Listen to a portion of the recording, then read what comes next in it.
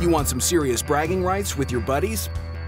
Then you need to own not just the ultimate car, but the ultimate toy.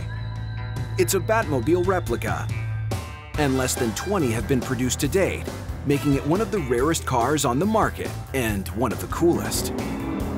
Yeah, the car is 18 feet 10 inches long, a very long vehicle, and especially compared to cars of today.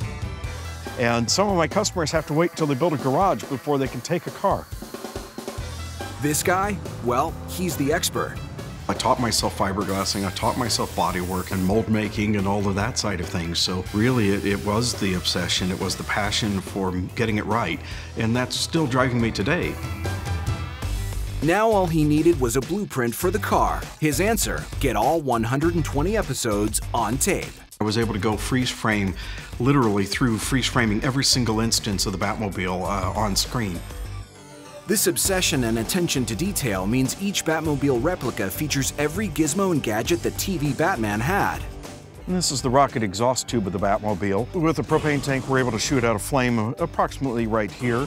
There's an aluminum band around the outside of it, and we have a couple of Deist parachute packs. And of course, we have to have the 2F3567 license plate with the Gotham 1966 tag on it, just like it had on the show.